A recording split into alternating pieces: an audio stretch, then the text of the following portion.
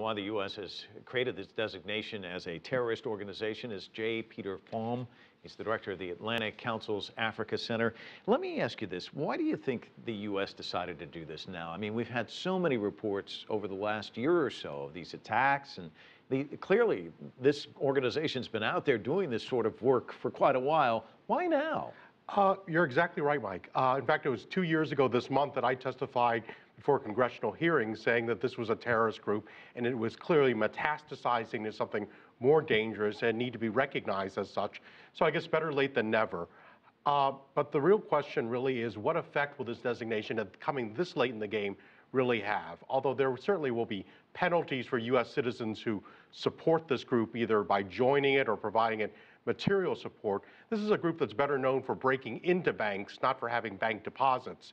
So there aren't likely to be many accounts that can be frozen.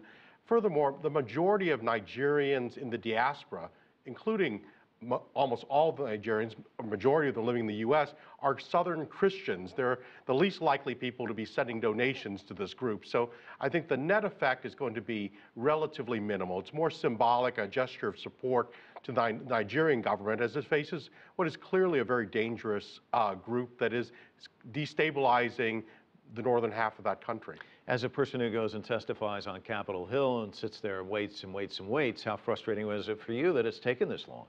Well, it's, I think it's been frustrating that the, a lot of old information was at work. Uh, this, this, is a group, it's sort of like a zombie, if I may use that metaphor. Uh, the Nigerians thought they destroyed it in 2003. In 2009, they thought they wiped it out, but each time it came back with a iteration that was actually more virulent, more dangerous.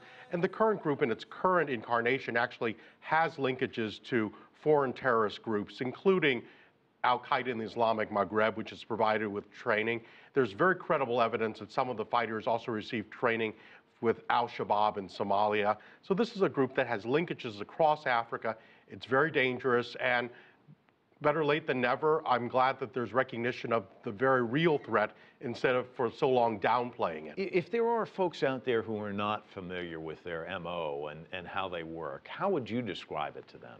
This is a group that grew out of some rather esoteric beliefs, uh, certainly are not mainstream, but as it is linked with these foreign terrorist groups, it's shed a little bit of its Nigerian character, taken on the rhetoric, the symbols, and the causes of foreign jihadists. So it's becoming more of a foreign-oriented organization. Its reach within Nigeria is still very small, but because of the clumsiness of the government's efforts to crack down on it, the human rights abuses which have been alleged, which your correspondent spoke about earlier, uh, and the fact that northern Nigeria is suffering severe economic depression. It's falling behind the rest of the country. It's feeling marginalized politically and economically. These are not reasons that cause terrorism, but they create an enabling environment where a group like this gets traction. Why is it that students often are the targets of them? Because we do find that at universities and that sort of thing. And not just students, but very often students, ironically, in the sciences, uh, they're looking for certainty. They don't like nuance. And this is a group that offers black and white solutions to everything.